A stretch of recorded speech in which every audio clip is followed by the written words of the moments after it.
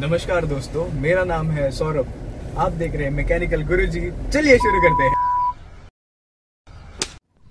Hello everyone watching firstly a very happy Ganesh Chaturthi to everyone watching and look at this fantastic view and this fantastic beast. It is finally here our Mahindra Thar is here after ten months of waiting we got this car on the 30th of August and it's finally here.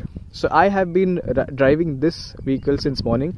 We went to a couple of friends' houses for Ganesh and we I have I have a rough feel of what this car is. So let's do a quick first impressions and walk around of the car. Let's see how the car is and let's find out the things about the car together. So this is how it looks from all the sides. This is our rear shot. Now the car is a bit it's a bit dirty because we took it to the beach. No, we did not take it to the beach.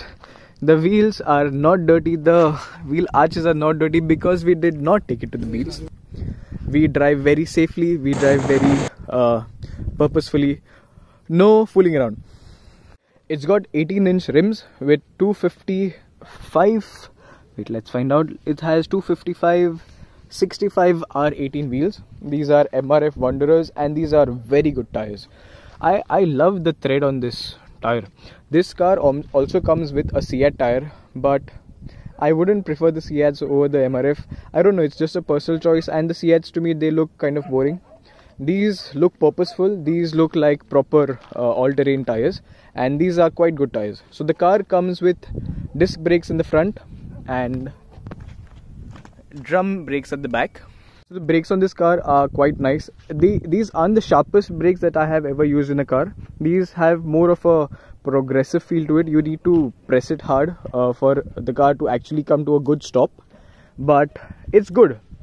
Uh, for for a car of this stature and this size and this ladder frame chassis, I think these are a good braking system. Now let's go inside. Let's take a quick look on the inside of the car. So this is how it looks from the inside a bit dirty because we did not go to the beach and we did not fool around. Uh, okay. These are the top panels. Okay mostly mostly everywhere in the car it's hard plastic. So hard plastic hard plastic. Good good feeling steering. This has uh, this is not very chunky and it's very good to grip. So okay. Hard plastic hard plastic but I think Mahindra has done a very good job even while having hard plastics because it gives a very rugged utilitarian look and feel to the car.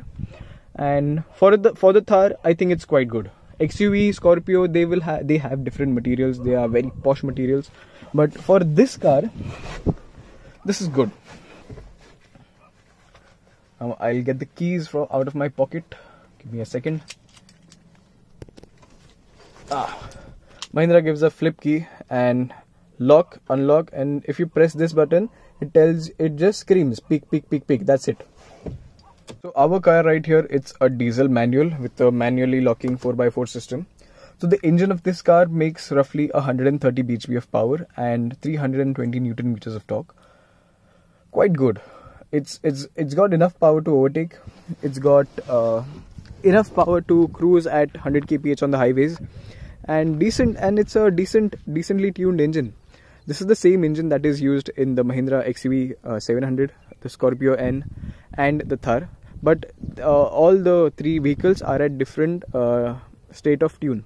So this is the car that is producing the least amount of torque and power. The highest is the XUV 700 because that does require that amount of torque and power for the size of the car.